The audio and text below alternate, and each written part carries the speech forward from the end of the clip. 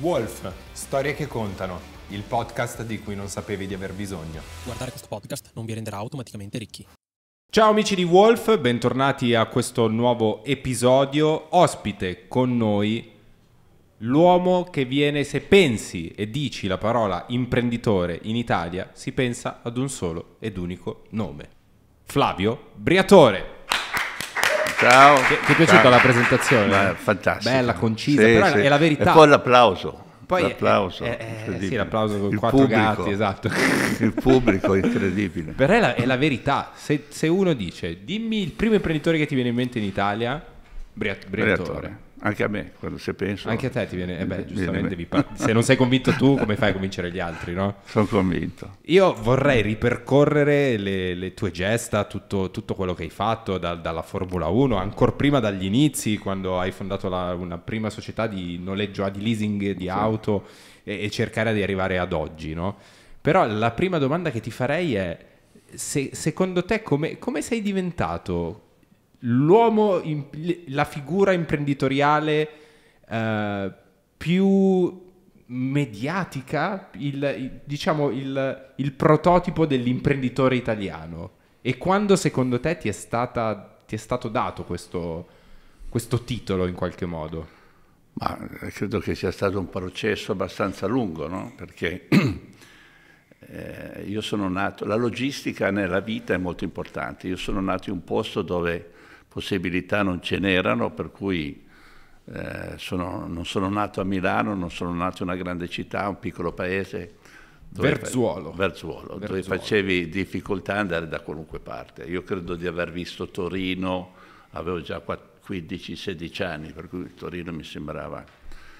Ma poi, eh, come tutte le cose, ci vuole molta rabbia, devi, devi sempre pensare che ce la puoi fare, devi sempre capire eh, quali sono le possibilità che hai. Innanzitutto devi uscire dal, dal buco dove sei nato, perché se nascevi lì, e se rimanevi lì, facevi... Cioè mio papà voleva che io facessi il geometra e aveva già trovato uno studio che era di mio zio che mi assumeva, credo, a 30 euro al mese, una roba del genere. Avevi già un futuro sì, assicurato. sì, diciamo. assolutamente. Però non era sicuramente quello che volevo, io volevo fare qualcosa, non so cosa. Però volevo dire, un giorno vorrei essere famoso, ma non, non ero un cantante, non ero un musicista, non ero, ero un cazzo, cioè non ero, non ero nessuno. Quindi diciamo la componente eh, della- di essere celebre, di essere popolare, ti ha, ti ha sempre accompagnato in qualche modo. No, ma era per me, eh, perché dico, ma è mica possibile che io sia nato in questo posto qui, non è mica possibile che io... Ma perché? Ma poi vedevi, vedevi il successo, vedevi la televisione, ai primi tempi che vedevi le televisioni, dici, ma io non è che possa vivere e morire qua, devo, devo assolutamente fare qualcosa. E, e anche quando andavo a scuola, che facevo le elementari, io pensavo sempre, poi c'era il maestro elementare, era mio padre, per cui c'erano due maestri. Mia mamma mi ha fatto prima, seconda e terza, mio padre quarta e quinta. Ma quando io, lui diceva che io ero disattento, no, io pensavo. Io pensavo cosa fare da grande, avevo sette anni, otto anni. Io ho sempre avuto, i miei, i miei amici giocavano a calcio, giocavano, io, io stavo sempre ragionando cosa avrei potuto fare per uscire, per, per fare, sognavo New York, sognavo le grandi città, Roma, per cui è sempre stato un po' qualcosa di dentro che mi spingeva di dire se vuoi puoi, se vuoi ce la puoi fare. Chiaro, perché secondo me sei eh, da, da fuori, no? Eh, sei forse stato il primo imprenditore che ha deciso di ra- raccontarsi e di esporsi un po', riprendendo un po' il modello degli imprenditori a- americani.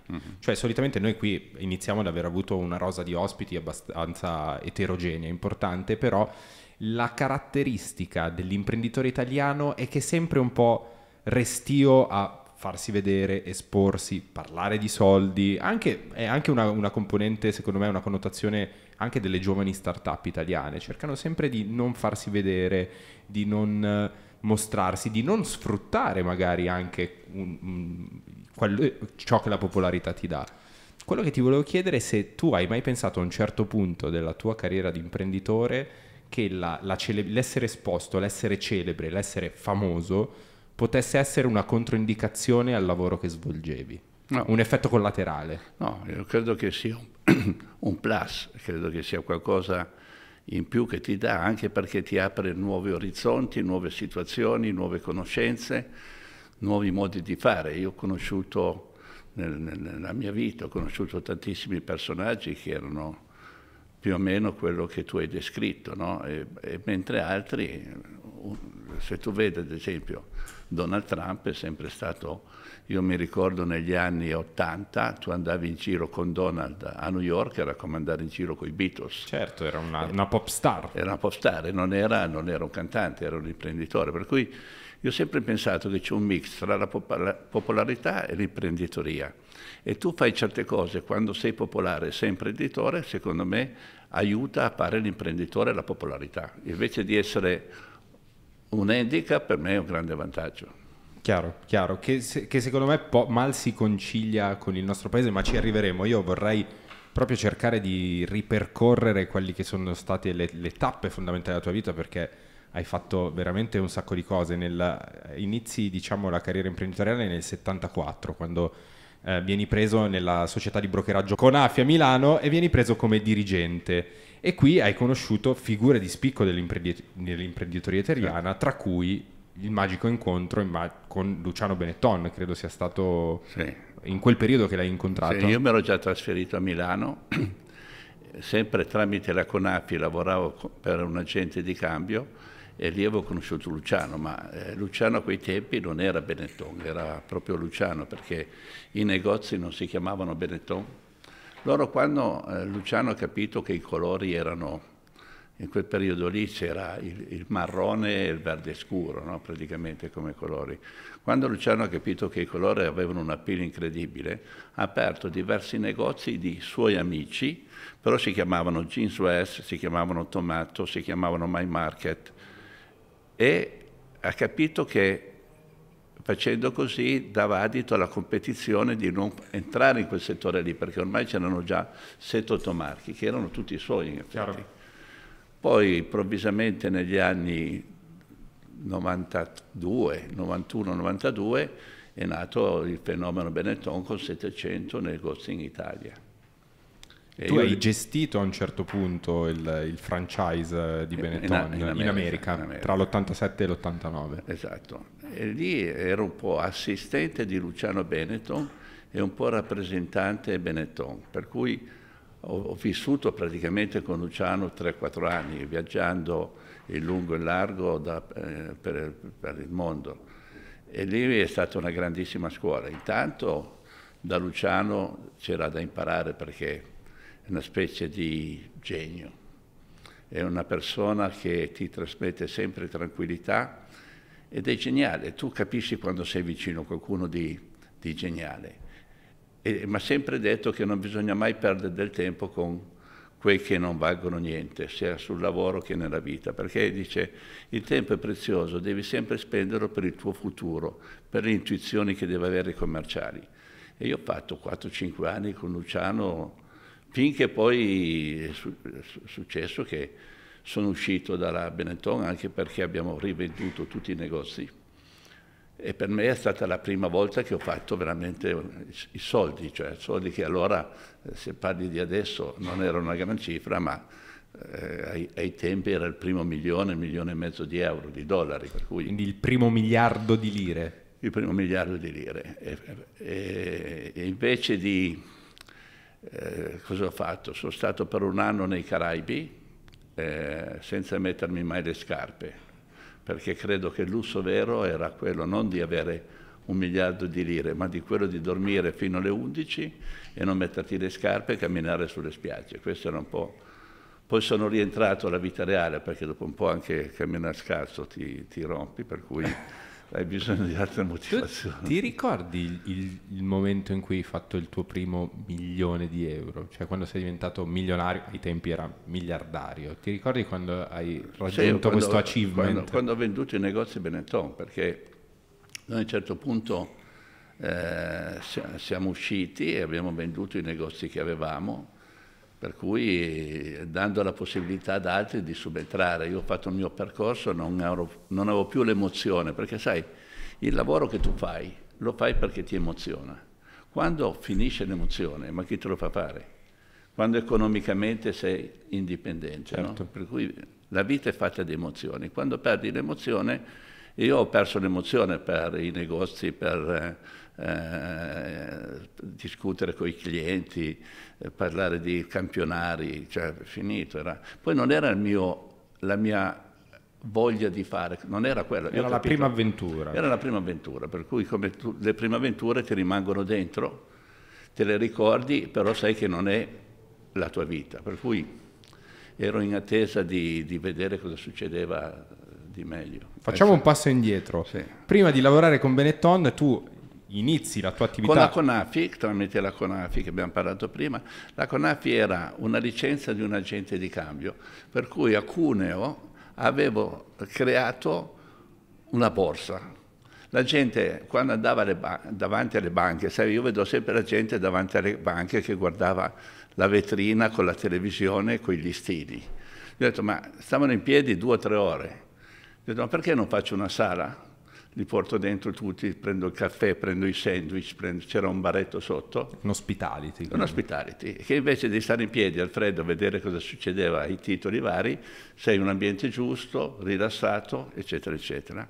Ed è nata la Conafi. Ho avuto la fortuna di avere due o tre dei più grossi operatori di Cuneo che sono venuti ai nostri clienti, questo ha funzionato molto bene. Poi c'è stata la possibilità della Cuneo Leasing, che è stata la prima società di leasing fatta in Italia anche lì l'ho lanciata con un altro amico mio e poi anche lì è stata poi venduta. Venduta a De Benedetti. Esatto. E tu ti ricordi quando hai ricevuto l'offerta da De Benedetti? Cioè hai accettato subito o ci hai pensato, hai pensato di tenere l'azienda a un certo no, punto e farla crescere? Non ci ho pensato neanche un secondo. Cioè, sembrava una storia che sei partito da niente, hai creato una roba, dopo due anni c'è un'offerta importante, importante sempre limitato il periodo, considera che io vivevo a Cuneo, mi ricordo che pagavo di affitto 30 o 40 euro paragonata adesso al mese. E avevo una casa da 150 metri quadri, per cui le proporzioni. Pro... A quanto l'hai venduta? Te lo Ma ricordi? Non, non, mi ricordo, credo che io avessi preso, parlando di giorni di adesso, di soldi di adesso, 400-500 mila euro. 500 mila cioè, euro. Cioè roba... Però è stato un buon inizio, un sì, buon sì, inizio. Sì, assolutamente. E, um, fare business a Milano, secondo te è ancora oggi una, una, questione di contatti? Cioè, secondo te è cambiata la situazione o si frequentano stesse, le, le stesse persone con le stesse logiche negli stessi posti o il mondo è cambiato da questo punto di vista, cioè in Italia esistono spazi per fare network, conoscenze, trovare investitori rispetto a quando hai iniziato tu? Guarda, io non conosco il mercato di Milano perché in effetti sono anni che non investo in Italia. Eh, ti dico che Milano è sempre una piazza, come in Italia è sempre un fatto di conoscenza, no? il fatto di conoscere chi è il presidente di quello, chi è il presidente di quell'altro. Eh, io in Italia faccio pochissimo, anzi faccio assolutamente poco, faccio quasi niente, anche perché quando sei abituato a lavorare in un mondo anglosassone è, è completamente diverso. Se tu hai un'idea la porti avanti, se le idee valide ti supportano. In Italia vai molto avanti per conoscenze, questo è amico di quello, questo è amico di quello, cioè, non, non, è, è, ancora un sistema vecchio in Italia, cioè, tu vedi che tutte quando parli di fare delle start-up in Italia, un ragazzo che vuole fare una start-up spende tra notaio e tutto quanto 80-90 mila euro. Eh, ma non è che tutti hanno 80-90 mila euro per fare delle start-up. Tu vai negli Stati Uniti, ci sono mille banche che finanziano le start-up, logicamente c'è un comitato, vede se ha senso o no, certo. ma creare una start-up ti costa 10, 50 euro, 100, 1000. Sì, sì, c'è meno burocrazia anche. No, ma poi c'è la pensi... burocrazia, i permessi, i bolli, i timbri. Cioè tutto, eh, qui è tutto, è tutto burocrazia, perché è un paese che non ama chi fa impresa. Per cui è un paese ostile per gli operatori, perché chi fa impresa ha sempre problemi. Qui è un paese che vorrebbero più o meno tutti uguali, che tutti più o meno stessero sulla stessa linea. Se uno è ricco la gente si incazza, se uno è povero la gente, vabbè, poverino è povero però è un paese dove non permette alle aziende di crescere. Poi ci sono delle aziende, per, però è un paese che sta in piedi perché ci sono tanti piccoli imprenditori in Lombardia, in Piemonte, in centro Italia, che non sanno neanche dove è Roma. Sono questi che tengono in piedi l'Italia. Queste piccole aziende di famiglia, questo tessuto incredibile forte di gente che la politica non sa neanche, non, non sa neanche chi sia il politico, non sa neanche di Roma di cosa parla. Sì, sì, infatti a proposito di aziende familiari, tu nel 77 vieni nominato amministratore delegato di Paramatti, una società produttrice di vernici, Sì. e diventi così il più giovane amministratore delegato di un'azienda italiana quotata in borsa non a gestione familiare. E, e volevo chiederti appunto cosa pensi delle aziende a gestione familiare, pensi che sia il modello più diffuso in Italia? Sì, sicuramente. È il tessuto più forte che c'è. Poi c'è, c'è le grandi big company come, come, in tutti i paesi, ma il, il, tessuto che tiene in piedi il paese è proprio questo, è quello dei picchi, piccoli, medi imprenditori che hanno le aziende da 20, 30, 40 dipendenti, che hanno tecnologia, che hanno saper fare. Se tu vedi che i francesi perché investono in Italia, anche nella moda, no? Ci sono dei contoterzisti che lavorano per il gruppo Recem Berry, di Arnaud. di Arnaud, Sì. ma lui non li va a comprare in Francia, li compra in Italia, perché sì. sono i più bravi di tutti. Eh, sicuramente c'è una storia dal punto di vista produttivo che... E c'è una passione, vede, c'è una passione, perché la passione di questa gente qui è questi che dovremmo premiare, perché questo qui può convincere il figlio a continuare a fare il suo lavoro e avere un'età media bassa, perché sennò questi lavori qui finiscono. No, sono, sono d'accordo, io faccio parte di, di chi ha, ha iniziato un'azienda, io la- tu immagina, io ho iniziato la mia azienda che, che è esattamente quello che hai descritto tu, è un'azienda a gestione familiare, ho iniziato con mia madre, eh, imparato, abbiamo imparato insieme a gestire un'azienda da, adesso non so quanti siamo, 40-50 persone, e, eh, ed effe- credo sia anche un- ci sia anche un tema di fiducia e di competenze, cioè è molto eh, difficile se parti con una struttura familiare poi delegare e trovare persone di cui ti puoi fidare che non siano tuoi familiari. Eh, Lì magari sai, eh, a scapito di competenze preferisci magari dare a chi ti puoi veramente fidare, no? E, e- e- magari far a raggiungere quelle competenze alla, perso- alla persona di- o alla- al gestore della, della tua famiglia a livello aziendale. Però eh, vorrei arrivare, vorrei con te arrivare nel momento in cui ehm, nel mm, 1989 ti nominano direttore della scuderia di Formula 1, Benetton Formula.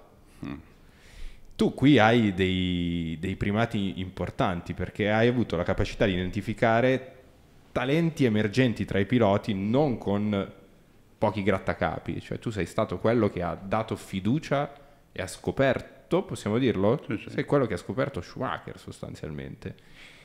Ti ricordi quando, cioè come, cosa hai visto in lui e, e se hai avuto poi delle frizioni al tuo interno su, eh, su puntare su una- un pilota così, così giovane? Cioè, dimmi- partiamo da un presupposto, che la Formula 1 è un circolo molto ristretto. O c'hai il motorsport come background, o se no non vali niente. Io sono arrivato in Inghilterra, era la prima volta che andavo in Inghilterra, io non conoscevo Londra, non conoscevo l'Inghilterra. Luciano Benetton mi aveva portato a vedere un gran premio in, eh, in Australia, Adelaide.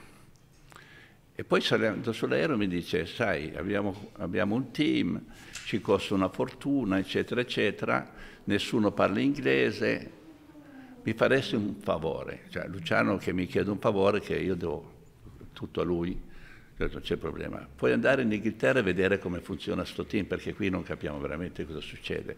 Sappiamo che ci costa ai tempi 7-8 milioni di sterline all'anno, però non capiamo i benefici, non c'è competitività. Vado in Inghilterra e dividevo il mio appartamento con Alessandro Benetton. Alessandro lavorava alla Goldman Sachs, faceva apprendistato, si faceva un mazzo. Mi ricordo che lui arrivava la sera alle 10, alle 5 e mezza ci alzavamo tutti perché mi faceva un'ora e mezza di macchina.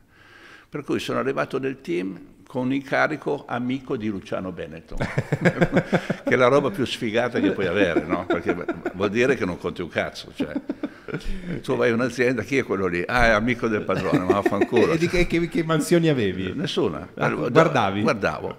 E la gente, tu pensa che tutti inglesi dicono, io ho i capelli lunghi, abbronzato, quando sono arrivato poi a Londra l'abbronzatura è andata via, con la nomina di pseudo playboy, eccetera, eccetera, per cui no, non mi piglia nessuno sul serio, ho detto Luciano, cioè io qui perdo del gran tempo, questi qui proprio non mi filano di striscio, è un'azienda, gli ho detto, è come degli impiegati statali, Se loro di vincere non gli interessa, gli interessa di fare quel lavoro che è la loro passione con i tuoi soldi, cioè, il quadro è quello. Mi dice no, ma se io se facessi un po' il direttore commerciale, ho detto Luciano, cioè, dobbiamo sederci e capire perché io devo tornare a New York. Io ai tempi avevo un buon rapporto con Donald Trump, per cui anche lui mi ha proposto di fare cose Atlantic City, eccetera, eccetera. Quindi più nell'edilizia? Più nell'edilizia. No, quando stava costruendo gli alberghi Atlantic City. Okay. Era più marketing, tutta la roba di marketing, portare i giocatori dal Brasile, dalla Spagna, eccetera, eccetera.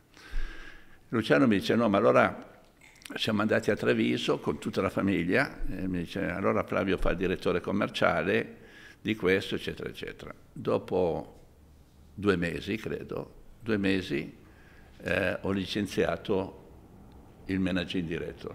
E Luciano mi chiama e mi dice, ma scusa, mi ha detto che non te ne voglio occupare, mi mandi via metà della gente. E lui mi dice, adesso, eh, adesso, adesso ti, ti, creo il team. E poi siamo tornati a Treviso, lui mi ha fatto la proposta che mi davano il 30% del team, tanto tutto ufficiale, se me ne sarei occupato. Mi sono trasferito da New York, mi sono trasferito a Londra. Londra e di lì in avanti è iniziata l'avventura. L'avventura è iniziata che, come tutte le cose, non è che devi essere pratico di una cosa, perché se uno fa il manager della Fiat, presidente della Fiat, e poi fa presidente dell'American Express, non cambia niente, devi sempre gestire persone. Certo. Cioè non è che devi gestire, il prodotto cos'era? Era una macchina fatta da 3500 componenti, per cui quello era il prodotto. Per essere vincente sul mercato doveva andare forte. Cioè, non era una macchina. Certo, era più tenere, tenere in, che è la cosa più difficile, credo, in un'azienda, costruire una squadra propedeutica al successo. Esatto, e, e la motivazione. Poi siamo, praticamente siamo partiti di lì. Ho preso queste azioni che mi ha dato Luciano Benetton e dopo... Quindi tu avevi il 30% del, del team, del team Benetton. Del team Benetton, sì. ok. Quindi avevi delle quote all'interno? All'interno del team, assolutamente. Okay. Questa era una delle mie condizioni per rimanere ed era una condizione di Benetton per motivarmi. Beh, eh, sì, infatti sì. Stavo, cioè, sì, sì, immaginavo proprio che fosse, cioè, se andava bene eh, l'azienda... Dato che Luciano ormai mi conosceva come, come nessun altro, per cui mi ha detto se io Briatore non motivo è riuscito con la Benetton a vendere vestiti che ha mai visto un pullover in sua vita, riuscirà anche a fare una macchina che funziona. Poi di lì eh, reputazione zero perché noi eravamo dei t-shirt maker. certo, tutti, non eravate eh, dell'ambiente. No, io mi ricordo che Frank Williams, Ron Dennis non mi, non mi salutavano, cioè, ma proprio non mi cagavano di striscio, proprio... Io ho detto tra di me, prima o poi comincerete a salutarmi. Comunque ho fatto il lavoro e quando c'era il team messo più o meno assieme, con chi è rimasto, qualcuno ha seguito il vecchio amministratore delegato, qualcuno è rimasto, cercando di motivare tutti quanti, ho detto ragazzi dobbiamo dimostrare a tutti quanti che possiamo farcela. Avevamo un problema di budget, ho trovato subito degli sponsor, grazie alle mie conoscenze americane, ho trovato la Gillette, eh, ho trovato la 7up e altri sponsor, per cui non chiedevo soldi alla famiglia, e per loro questa era la, la, una boccata d'ossigeno. la roba più importante. Abbiamo iniziato così. Poi ci volevano i piloti, logicamente. E parlando con i miei ho detto noi i piloti importanti da noi non vengono, tipo Senna, Gerhard Berger, Patrese ai tempi, eccetera, eccetera. Eravate considerati un team minore? Avevamo considerato un cazzo, nessuno. un team cioè, di merda. Neanche un team di merda. un team esatto. di merda. E a quel punto lì ho detto vediamo di trovare un giovane che cresca con noi.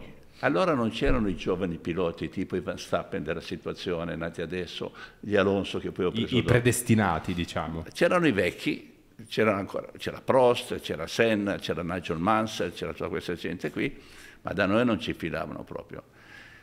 Allora gli ho detto dobbiamo cercare nelle serie minori, perché se qui non c'è nessuno dobbiamo andare sotto. E avevo chiamato questo Peter Condi, uh, Sauber, che aveva delle squadre di Mercedes gruppo C, dopo erano macchine con molto downforce che andavano molto veloci, e lui mi ha fatto tre nominativi, mi ha fatto Frenzen, Verdinger e Schumacher. Mi ha detto tra i tre Frenzen credo sia il più veloce. E vado dai miei e gli dico ragazzi questi sono i tre piloti che dobbiamo investigare, ho mandato dei meccanici, degli ingegneri a vedere le gare, tutte le gare erano più o meno sempre in Germania, e arrivava il rapporto, il rapporto era più su Schumacher che non su, che non su Frenzen. Poi succede che Jordan perde un pilota perché ha litigato con un taxi a Londra, l'hanno arrestato, e Jordan mette in macchina Schumacher. Ha detto ai miei, vedi, cazzo, te l'ho detto che dovevamo prenderlo subito, no? Detto? Lo... Jordan era un'altra, un un'altra scuderia? Sì, un altro okay. team.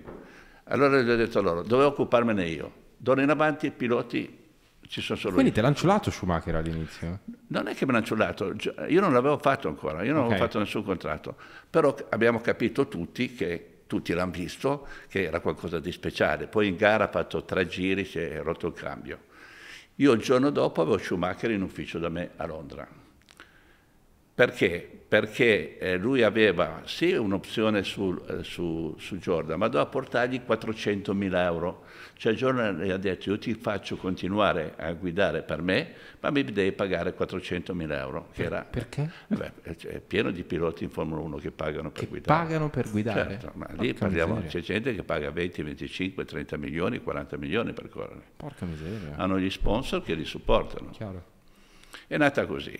Schumi dopo mille peripezie firmiamo un contratto. E tu, cioè, la condizione per prendere Schumacher era ti faccio guidare senza mettere soldi Senza dentro. mettere soldi. Anzi, assieme gli avevo portato una, uno sponsor che si chiamava Tic Tac. Le Tic Tac, Che certo. sono le famose caramelle della Ferrero, che allora mi sembra fosse una sponsorizzazione di 300-400 mila euro, per cui gli ho detto tu con me guidi Formula 1 senza dover pagare nulla, nulla. ci pensiamo noi la prima volta che Schumacher è salito sulla macchina al Gran Premio di Monza e subito è stato competitivo. E dopo un mese tutti quanti parlavano di Schumacher. Tu hai vinto grazie all'acquisto di Schumacher e di tutta la squadra che hai messo in piedi.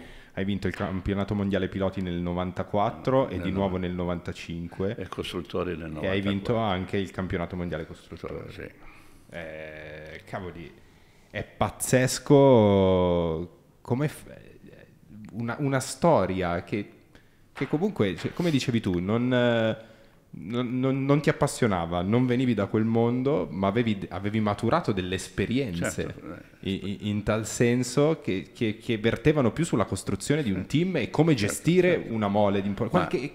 Da tu... quante persone era composto il team? Ah, avevamo 120-130 persone dalla parte chassis e un centinaio dalla parte ingegnere, ai tempi 250 Quindi persone. diciamo che il tuo know-how è stato la capacità di, credo, A, Metter, motivare, B, metterle insieme e C, gestirle. Di gestirle. Però eh, tu c'hai questa azienda qui, se tu domani vai a un'altra azienda, è la stessa roba. Magari è un tema diverso, non fai questo tipo di lavoro, ne fai un altro, ma il concetto è sempre che tu qui fai un prodotto, sì, sì. devi fare un altro prodotto, ma devi sempre fare la squadra. Sì, sì, assolutamente. Nel 97 lasci il tuo ruolo nella scuderia Benetton per fondare la Supertech, quindi un produttore di componenti di motori.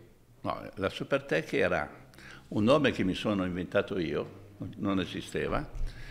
Allora, allora io sono uscito dalla Benetton per un semplice fatto. Luciano, eh, Luciano Benetton mi ha chiesto se poteva affiancarmi suo figlio Rocco e io gli ho detto no, gli ho detto, eh, Rocco è il figlio del proprietario dell'azione di maggioranza. Per me non è che faccio la scuola guida, ho detto non va bene. Cioè, o io rimango con i pieni poteri o se no vendo, voi mi acquistate le azioni e, e io faccio qualcos'altro. È stata una lunga discussione, ma sempre in modo super amichevole. Non avete mai rovinato i rapporti? No, diciamo. ma ancora adesso io e Luciano ci sentiamo due o tre volte al mese.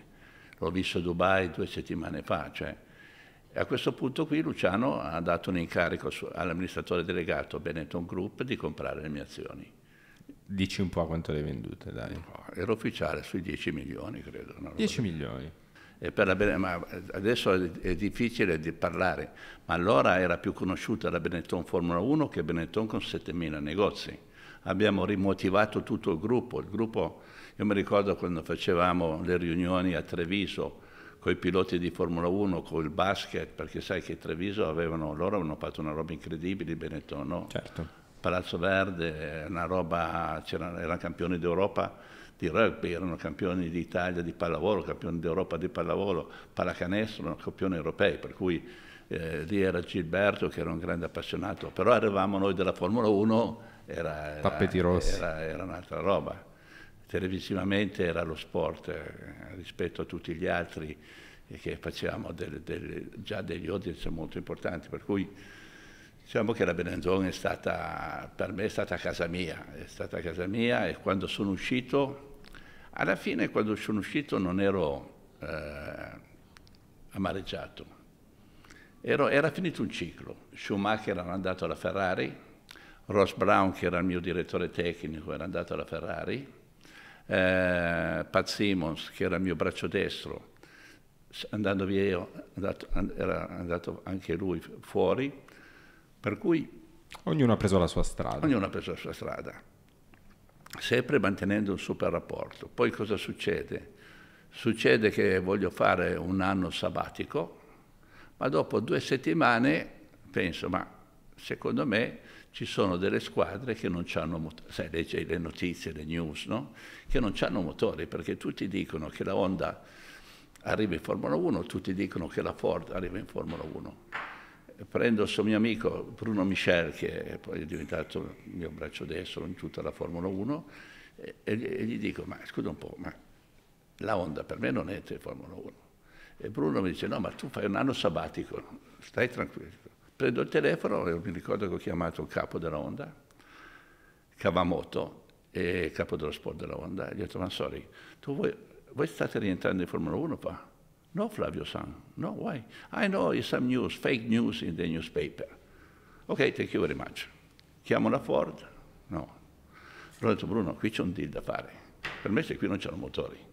Perché in Formula 1 sono talmente pieni di ego che pensano sempre che è tutto dovuto, no? pensano che l'onda ritorni questo. Allora ho detto a Bruno, se noi compriamo una fabbrica di motori, tu vedrai che andiamo a vendere i motori questi qui. Con tutte le, le conoscenze che avevi certo, acquisito certo, certo, negli anni. Assolutamente, perché chiamare Kamamoto se non avevo rapporto col cavolo certo. chiami, no? Quindi vi siete messi a fare motori no, verticali? No, no, sono andato dalla Renault mm. perché la Renault era uscita. Quando io sono uscito dalla Benetton, anche la Renault, che era fornitrice di motori, è uscita. Okay. Però avevano sugli scappali 300 motori di Formula 1 io sono andato dalla Renault e gli ho detto, mantenete i dipendenti che avete, uh-huh. ve li pago io, faccio un affitto d'azienda, perché se no perdete tecnologia, se un giorno volete rientrare, un domani in Formula 1, Bis- perdete, certo. perché abbiamo della gente molto brava. Certo, poi è un mondo che, che se non sta a passo col tempo certo, rischia di, certo. di, di Loro rimanere... rischiavano, erano 250 dipendenti, ho detto, pago io, faccio un affitto d'azienda, cioè sì. hai affittato il, ro- il, loro ramo d'azienda che si occupava solo di motori solo per di la motori. Formula 1.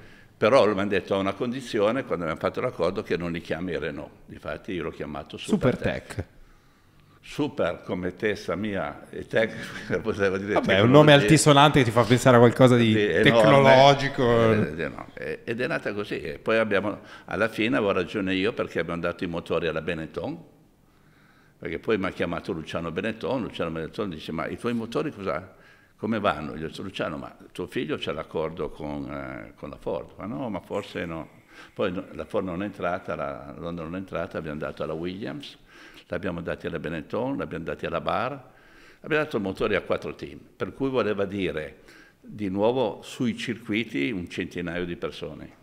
E, e che, che fine ha fatto poi la Supertech? La Supertech è stata comprata dalla Renault.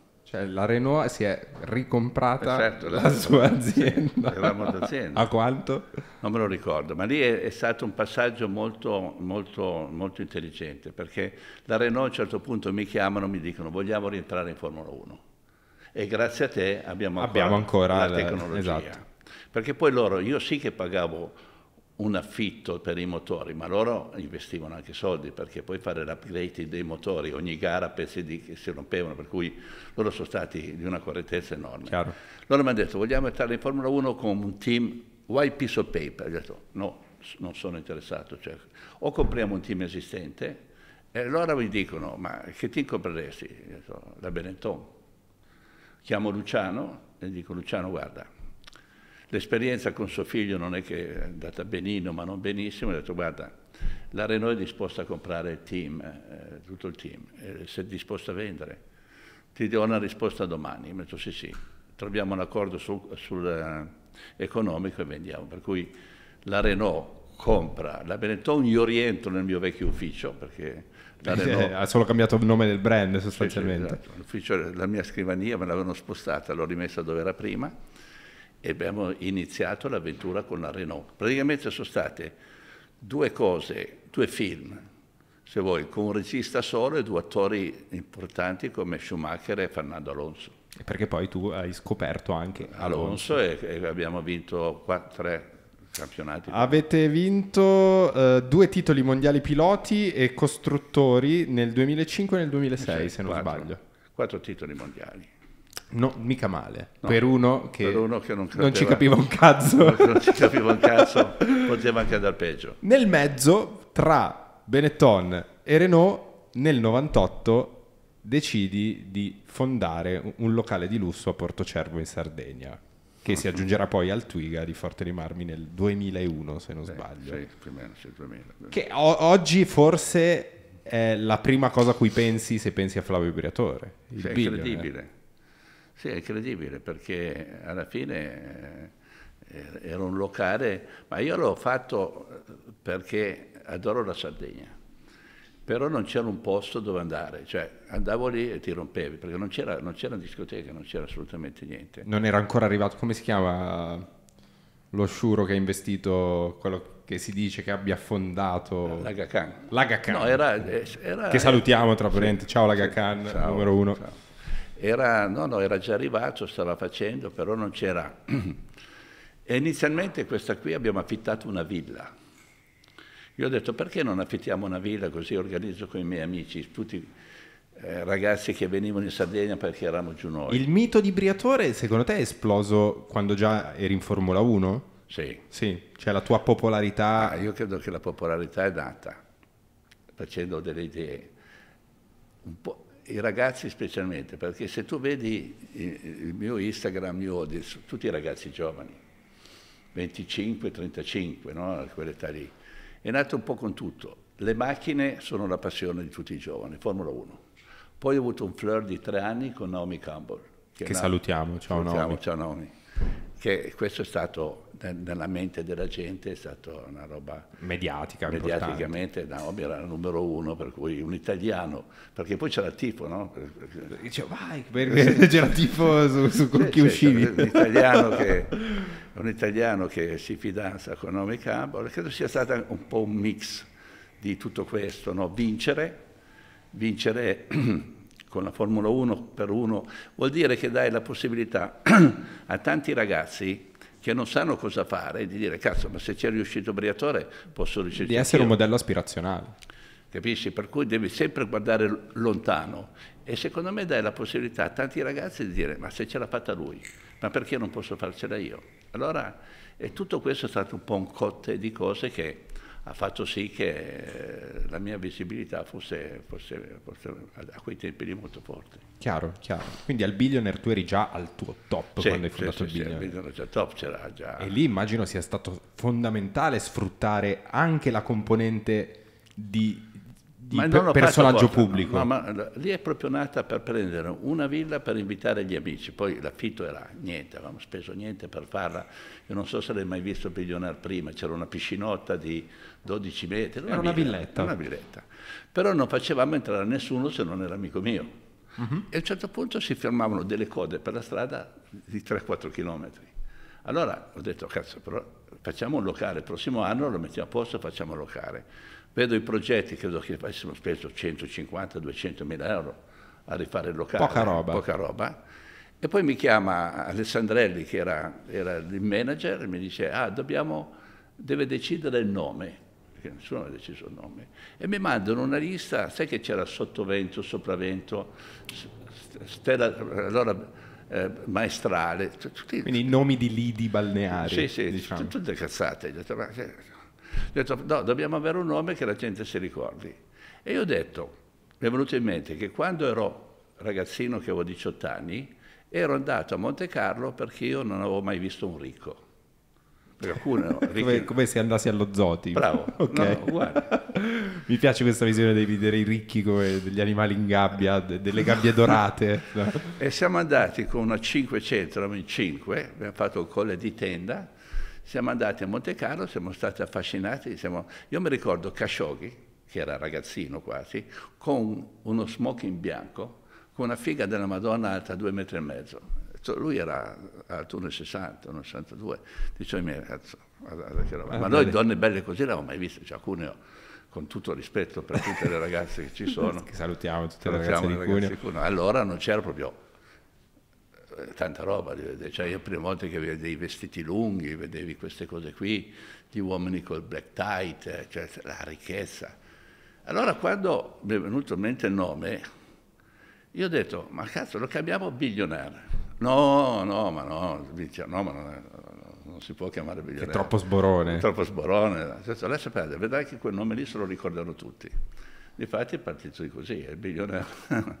Quindi è, è, la Sardegna era già stata lanciata sì. da Aga Khan? Sì, sì. Aga Khan, sì. sì. Sì, Aga Khan era già stata lanciata, più che altro c'era i tempi di Porto Rotondo, perché per Porto Rotondo, poi l'Aga Khan ha fatto Porto Cervo, però eh, è nato così, Bilionari in effetti è nato così. L'anno dopo abbiamo aperto come discoteca. E eh, ad oggi i, in che stato, cioè rispetto, quanti, quanti, quanti billionaire avete nel mondo? No, ma adesso billionaire è quel che abbiamo meno. Adesso abbiamo eh, Dubai, che è grandissimo. Diciamo che Dubai è, è, è il vero bilionario, era proprio il mio concetto che non puoi farlo in un posto in Sardegna che dura una stagione, dura due mesi, no? per cui parliamo di artisti, parliamo... c'è bilionaire, eh, c'è bilionaire a Riyadh, c'è bilionaire a Dubai, c'è bilionaire in Sardegna, c'è bilionaire a Doha, siamo in negoziazione per Vegas e per Miami, questi sono wow, i bilionari. Wow. E ad oggi quanto, quanto sposta la sede in Sardegna? È, è, è più, diciamo, un simbolo o, o, riesce a pesare ancora? Cioè, quello che ti vorrei chiedere è lo stato di salute del, del turismo in Italia, cioè vorrei prendere la palla al balzo per, per capire se è, ha ancora senso investire in, in questi sul, settori. Sul turismo sì, senz'altro. Partiamo da un prodotto incredibile che è il paese, no? dove facciamo tutto il possibile per mandare via la gente ma non ci riusciamo. Cioè, ci impegniamo al massimo con regole, regolamenti, eh, burocrazia, eccetera, eccetera, ma il paese è talmente bello per cui la gente viene comunque.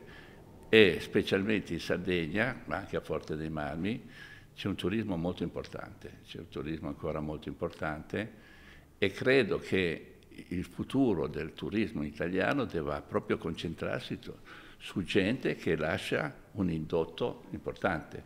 Io l'altra settimana ero a Venezia, no? Tu non puoi camminare, ma perché non gli facciamo pagare 10 euro al giorno questi che vengono a, a Venezia? Ma vedi, tu non puoi camminare, tu non puoi passare. Okay, Sono gli... milioni di turisti. Ok, gli fai pagare 10 euro al giorno per fare cosa? Per, per Venezia. Quando tu vai ah. a vedere un museo, ti pagherai, no? Chiaro. Perché pulisce le strade, perché poi ti lasciano qualunque cosa per terra, no? Chiaro. Cioè, Quindi fa... pagare l'accesso a una città cioè, è legale, non lo so, chiedo. No, la, eh, fai non... la, fai diventare legale. Okay.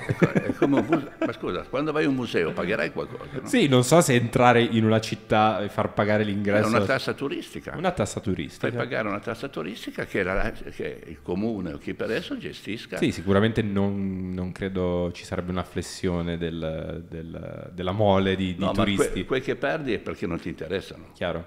Capisci? Perché poi c'è gente che, per carità, ma parliamo di 10 euro, non è che chiediamo, però ho visto, ma non riesci, cioè è impossibile camminare. Allora dico, i musei che abbiamo, noi dobbiamo esporre di più i, i beni che abbiamo in Italia, dobbiamo essere tutti quanti più consapevoli che il turismo è la prima azienda italiana, è l'azienda vera perché ce l'abbiamo. Cioè non è qualcosa che dobbiamo creare, è qualcosa che esiste. Dobbiamo esportarla, dobbiamo essere più selettivi, dobbiamo avere più trasporti. Eh, tu vedi anche la situazione, della, tu vedi a Dubai, chi ha fatto Dubai è Emirates. Cioè Emirates tu da qualunque parte del mondo, Italia parti, partono da Catania, partono, vai diretto sei ore, arrivi all'aeroporto di Dubai, passi in quattro minuti, cinque minuti sei fuori. Cioè noi non abbiamo neanche una compagnia nazionale, non abbiamo una catena alberghiera nazionale, per cui dobbiamo investire sul turismo. Assolutamente, sono, sono, d'accordo. Mi sono perso due o tre domande sul, sul capitolo Ferrari, perché eh, tu a un certo punto eh, hai promosso il, il GP2 C- Series. Mm-hmm, sì. Ci vuoi raccontare cos'è? Allora, eh, era molto difficile capire se un pilota che arrivava in Formula 1 arrivava perché aveva finanziariamente degli sponsor molto importanti, no? E c'erano dei piloti molto bravi che non avevano nessuna chance di arrivare in Europa, di arrivare in Formula 1 perché non avevano né il padre coi soldi né lo sponsor coi soldi. A tuttora ad oggi la Formula 1 è un ambiente super elitario. Esatto, però cioè, adesso la GP2 si chiama Formula 2, però ci sono 20-24 piloti che chi vince... Que- perché la mia idea era molto semplice, le macchine devono essere uguali per tutti, nessuno le può toccare, i meccanici, gli ingegneri, il numero delle gomme deve essere limitato e vedevi veramente lo skill del pilota, dove lì è nato Hamilton, sono nati Rosberg. Infatti Hamilton, non vorrei azzardare, tu lo sai meglio di me, credo che sia uno dei pochissimi piloti che veramente parte dal nulla, no. che non è realmente ricco. No, no, no, no, no però Hamilton ha trovato un supporter che era Ron Dennis, un team McLaren che ha creduto in lui.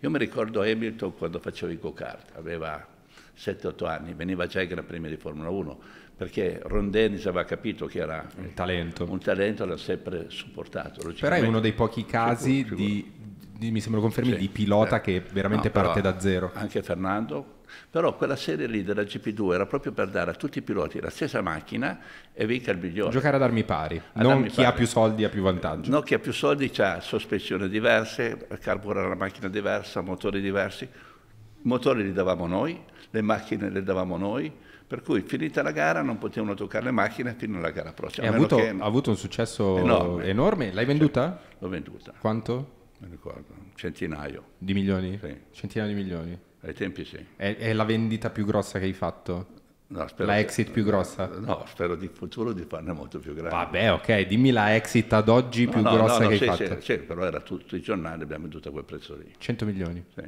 Non male. Avevo dei soci che non posso dire chi. Che salutiamo però. Sì, so, grazie soci. E poi nel 2007 hai comprato una squadra di calcio, per non farti mancare niente, il Queen's Park Ranger, sì. Insieme a Bernie Ecclestone. Esatto. E insieme al Bernie l'avete fatta promuovere in Premier sì. e l'avete venduta. Esatto. Ma lì, lì è stata una vendita, lì abbiamo fatto male perché questa squadra qui adesso può valere 500-600 milioni. Okay. Noi l'abbiamo svenduta perché io ero troppo impegnato in Formula 1, a Berni non gliene fregava niente, di conseguenza eh, al mattino calcio, poi sai io sono uno che se faccio una cosa ci metto il naso io, eh, posso avere tutti i consulenti che vuoi ma de- voglio decidere io, per cui eh, il calcio è un mestiere molto difficile, deve essere lì 24 ore al giorno perché lotti con i giocatori, con i manager, con gli agenti. Cioè, c'è 200 persone che, che, si alzano il mattino e pensano come fregarti. Per cui venduta, portata in Prime League, per cui la Serie A inglese, abbiamo fatto anche lì, da ultima in classifica in tre anni, portata in Prime League e poi venduta. Beh, non mai, c'è cioè un minimo di plusvalenza. No, no, sì, minimo, minimo, minimo. E Invece parliamo proprio di, di, nel 2010, dal 2010 in poi ti sei dedicato a, a creare locali, servizi di lusso dedicati al, al tempo libero de, delle persone più, più ricche, no? Hai creato la holding Billionaire Life, dal 2021 adesso si chiama Ma- Magestas. Magestas. Magestas. Come mai Magestas? No, non l'ho trovato il nome io, l'ho trovato i miei, a me piaceva, va bene. Io ho detto va bene, vabbè. Cambiava. Ci sta, ci sta. Sono i contenuti che contano. Sì, sì, sono son d'accordo, sono d'accordo. E hai aperto le nuove sedi del Twiga, del Bilionario in tutto il mondo, come dicea- dicevamo, e eh, hai, inte- hai creato e integrato diversi marchi nel tempo. C'è stato Billionaire Couture, se non Sì, sbaglio. L'ho venduto a Philip Play. Al, al Filippo, che salutiamo anche lui. Ciao Filippo. L'hai venduto al Filippo? Sì. Quindi mi sembra che c- comunque io sono un po' come te su questo, cioè nel senso che mi appassiono per un periodo, Però, no- però non mi affeziono. vendo anch'io, vendo e poi vai un'altra roba. Sì, son- son- mi, pia- mi piace questa cosa. Cioè non, eh, Non puoi intervi- avere tutto sul tavolo, no? ogni cosa che fai deve essere concentrato. Tutto quello che non ti piace più o che non vedi che ti appassiona più lo, de- lo devi dar via. Sì, e poi a, a un certo punto, poi ognuno ha la sua visione, credo che essere anche un po' ripagato del sudore che hai versato verso un progetto ti dia poi la spinta di affrontare magari un'avventura Che nuova. poi magari investi anche molto di più in altri e poi puoi anche perdere soldi. E avete lanciato Crazy Pizza, fa No, parte ade- sempre del no, gruppo. ade- ma adesso il gruppo è molto semplice, è un gruppo che fattura grosso modo 87 milioni di euro e c'è un EBITDA ufficiale di 17 milioni. 87-17 non male. Sì, va bene. Anche perché il 90% del fatturato è fuori dall'Italia. Quindi dici non hai le tasse italiane No, che no, gravano. ma non, c'è, non, non solo le tasse italiane, è la complicazione. Noi è un anno che cercavamo di aprire un locale a Roma e non ci siamo riusciti perché la roba incredibile in questo paese è che invece di aiutare le aziende e dirti Fede, tu investi in questa roba qui, quanti dipendenti assumi? Partiamo dall'incontrario, Sì, non sì, si può- può fare, non si può fare. E quando si può fare c'è mille robe burocratiche, cioè tu vai negli altri paesi, ti dicono subito sì, no. Volevo aprire una piccola parentesi perché tu tra il 2012 e il 2014 hai condotto secondo me uno dei programmi più belli della televisione italiana, mi, mi aveva super appassionato, che è Apprentice, Apprentice Italia, Sì. che poi è nato tutto, la- credo che la- la- l'imitazione di Crozza nasca in quel, in quel eh. periodo lì, no? È una delle mie imitazioni preferite. Ehm, il, il tuo PA, il tuo personal assistant, è ancora oggi il vincitore di Apprentice Italia, se non Sì, sbaglio. è diventato direttore generale del gruppo, cioè, si chiama Francesco Menegazzo ed è direttore generale del gruppo, un ragazzo che ha molte responsabilità, diciamo che è il mio braccio destro in questo momento, per cui ci avevo visto giusto. No? È stato un, un vero e proprio apprendistato. Assolutamente, perché l'apprentice era un, eh, un lungo percorso di un CV di lavoro, no? quando tu presenti il tuo CV, qualcuno viene da te ti presenta il CV, tu lo vedi un'ora, mezz'ora, io invece ce l'ho per due mesi, tre mesi, per cui è un colloquio di lavoro che durava tre mesi. Ti faccio, ti faccio un- una domanda, magari un po' provocatoria, ma tu quando devi assumere nella tua azienda guardi più il curriculum, di, quindi i titoli di studio o le esperienze maturate? Allora, io adesso gestisco solo i- manager, non mi occupo più del... Io vado, vado a feeling. Cioè a me del titolo di studio, dato che io non ne ho, sono tutti uguali a me, per cui non è- ho tutti diversi, non mi cambia niente. Io guardo la persona, le risposte, la prontezza che hanno, il senso di humor, perché poi ci vuole anche quello, ci vuole... Io, no, io quando faccio le interviste io, poi alla fine decido, tutti i manager li, li intervisto io sono l'ultimo a intervistare, poi vedo, leggo i commenti dei vari manager e poi certe volte ribalto completamente la situazione, cioè proprio quello lì non va bene. Quindi non ti basi su master. No, tutte eh, cazzate, a meno che non hai delle grandissime aziende, allora a quel punto lì, però a livello nostro ti devi basare sul, sul film, perché anche quando prendi i famosi cacciatori di teste, Sì. sono anche un po' delle teste di cavolo, perché loro spingono o non spingono in base alle percentuali che gli dai, per cui no- non sono mai veri, capisci? Sì, sono d'accordo. Devi sempre trovare, te- tu devi avere, come ho trovato Schumi, come ho trovato Fernando, tu devi avere il feeling che quando guardi qualcuno dice, sto qui, le sue scarpe mi stanno bene. Ma no, no- non c'entra, logicamente deve parlare inglese, deve sapere... Vabbè, deve avere delle nozioni di base, Delle, certo. delle nozioni di base, però è sempre questione di, di feeling. Eh, ti volevo no, fare un'altra domanda che avevo in mente è se tu oggi eh, a livello imprenditoriale hai- gestisci solo aziende in cui mi sembra che hai una forte presenza da leader, no? dove hai le redini in mano, o fai anche dei piccoli investimenti su start-up, eh, aziende giovani? hai quel tipo di, di feeling che, che, investi anche in piccole realtà che potrebbero crescere nel tempo o cerchi di portare avanti solo progetti Ma in cui tu hai il timone in mano? Allora, noi le start-up le creiamo noi, per cui se c'è un ragazzo, ti faccio degli esempi, che non c'ha una lira, che però noi capiamo che è un ragazzo che ha delle qualità, noi ti possiamo aprire, ti faccio un esempio, un Crazy Pizza, e lui lo gestisce e quando ha pagato i debiti nei nostri confronti diventa proprietario. Queste sono le start-up vere. Cioè lui inizia a lavorare con salario, con la possibilità di fare, di fare un'escalation in 3-4 anni, di essere proprietario. Per cui noi investiamo nel gruppo sui dei ragazzi giovani, perché poi io sono sempre dell'idea che adesso, sai, social media, poi tu sei maestro di questo, la differenza è enorme. Ti faccio un esempio. È venuta una ragazza due mesi fa al Crazy Pizza di Milano. Questa ragazza americana aveva fatto due TikTok nella sua vita, no? Due. Ne ha fatto uno, ha fatto, siamo a 60 milioni, 60 milioni di visualizzazioni. Abbiamo dovuto chiudere Seven Room perché tutti i turisti vengono a Milano per vedere a che ora è lo show. Del, di quello che fa girare la pizza. Allora, l'ho visto anch'io il TikTok, sì. raga, l'ho visto anch'io. Sì. Allora, capisci bene che tu pensa a quanti direttori marketing... Non riuscirebbero a ottenere ah. quel risultato con una campagna dove paghi fior fior di soldi. Il costo nostro, neanche la pizza gli abbiamo offerto a sta Ha pure pagato? No, perché non sapevamo. certo, certo. Nemmeno lei lo sapeva. Eh. Nemmeno lei lo sapeva. Allora ti dico, il mondo è cambiato, per cui hai bisogno di giovani, perché il vecchio direttore commerciale, il vecchio direttore marketing non vanno più bene eh, no, no, quelli che vanno alle fiere a vendere il suo prodotto, no, non va più bene. Cioè ormai è tutta una questione di comunicazione. Tu riesci a fare dei video, riesci a fare delle, delle... Ormai il mondo è in mano a una tecnologia che noi non conosciamo.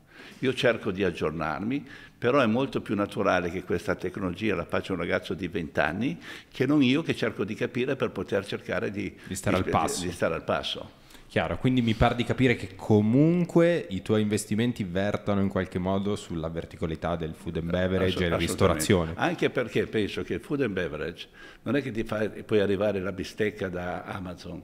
Food and beverage is connecting people, è socializing. Sì, sì, sì. È... I ristoranti saranno gli ultimi a cadere perché la gente va nei ristoranti non solo per mangiare, per l'atmosfera, per l'energia, un'esperienza. per l'esperienza. Per cui credo che il food and beverage sia uno dei settori che continueranno alla grande, però deve avere un brand.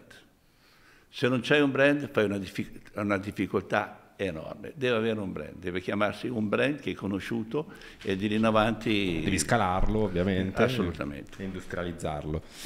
Allora, poco tempo fa ci sono state appunto delle, delle polemiche in merito a, ai ristoranti Crazy Pizza. Credo siano un po' le polemiche pedisseque, quelle che vengono fatte a cracco ogni volta che qualcuno pubblica lo, lo scontrino di quanto costa la, la, la pizza da cracco, no?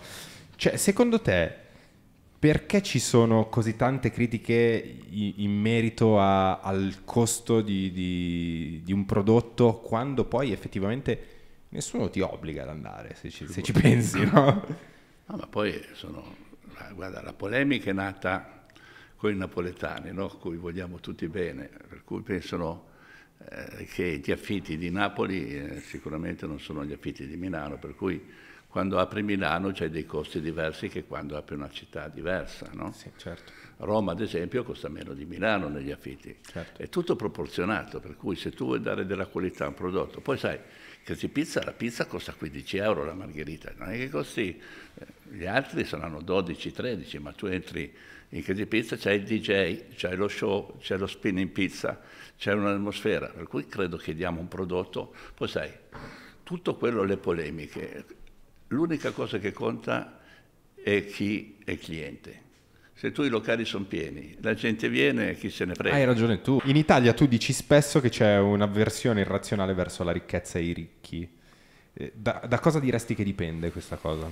No, in, Italia, in Italia c'è un'avversità nei confronti delle aziende, di, nei confronti di chi crea aziende. Cioè perché la povertà si combatte solo trovando dei posti di lavoro. La, la povertà non la crei, non, non, la batti facendo dell'elemosina, il bonus, il super bonus, la nonna, la zia. Cioè la povertà tu la elimini dando, creando dei posti di lavoro, dando alla gente la possibilità di essere felice. E se tu sei felice solo se c'è un lavoro.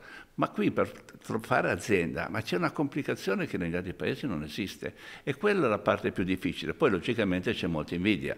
Diceva Montanelli, se tu ti fermi un semaforo, uno c'ha una Ferrari, ti fermi un semaforo di Los Angeles, l'altro con una 500 dice cazzo adesso voglio lavorare per comprarmi anch'io la Ferrari. E qui te la rigano. Qui, qui ti tirano una bella riga se possono rigare. Perché c'è la, proprio la difficoltà mentale per creare burocrazia per chi vuole creare posti di lavoro. Credo che sia questo il problema. E poi, senti, e poi c'è da dire una cosa, che i salari italiani sono molto bassi, ma sono molto bassi perché lo Stato prende una fetta enorme di questa parte di salari e no, ancora adesso non si riesce a, a creare un cuneo fiscale che dia la possibilità a chi lavora di guadagnare le cifre normali che guadagnano negli altri paesi. Che, che cos'è la ricchezza per te? Per me la ricchezza è la libertà, cioè la libertà, di, libertà, libertà tua, della tua famiglia. Eh, poi sai, la ricchezza non è che avere i rubinetti d'oro vuol dire essere contenti. La ricchezza è il tempo libero, avere più tempo libero per la tua famiglia. Io ho un figlio piccolo, cioè 13 anni, per cui la libertà è quella di poter dire se voglio farmi 10 giorni, un weekend, con lui me lo faccio. La libertà è quella. Secondo me è questa la libertà. La libertà non è la casa da mille metri quadri, che poi quando devi andare a fare la pipì ti pisci anche addosso perché non ce l'avevi più nel bagno. Per cui la libertà è proprio quella di essere, di essere avere la libertà di, di scegliere quello che vuoi. Per chiudere, delle tantissime cose che hai fatto, e non credo siamo riusciti comunque ad elencarle tutte no? nella tua vita, di quale vai più orgoglioso? Mio figlio. Bella risposta. Qual è invece il tuo più grande rimpianto? Il mio più grande rimpianto magari di non, aver, non, essere riuscito a fare una vita normale a un'età diversa dalla mia. Io ho avuto mio figlio, avevo 60 anni, per cui credo che ho perso un po' di, di feeling di, avere, di, essere giovane con lui, no? di poter giocare a pallone con lui che eh, non lo puoi più fare. fare. Io vedo ci sono dei papà che hanno 45 anni, 40 anni, che hanno dei bambini che hanno 7, 8 anni, 12 anni. Cioè, io, forse questo che è un po' rimpianto. Tutto il resto rimpianti non ne ho perché se guardo da dove sono partito a dove sono arrivato devo, devo ringraziare il cielo tutte le volte perché io sono sempre dell'idea di dire devi sempre guardare indietro, mai solo avanti, perché le radici non si cancellano.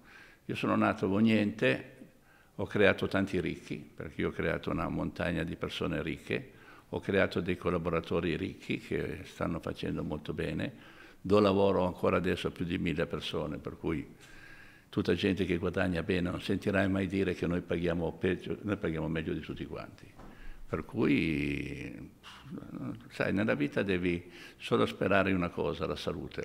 L'unica cosa che conta è quella di stare il più a lungo possibile con i tuoi figli, con, tua, con i tuoi cari, con la persona che vuoi bene, eh, con tua moglie. Io ho un'ex moglie a cui voglio molto bene perché siamo sempre molto legati per il nostro figlio. Però la cosa più importante è la salute, non c'è niente, non c'è ricchezza che possa, che possa sostituire la salute.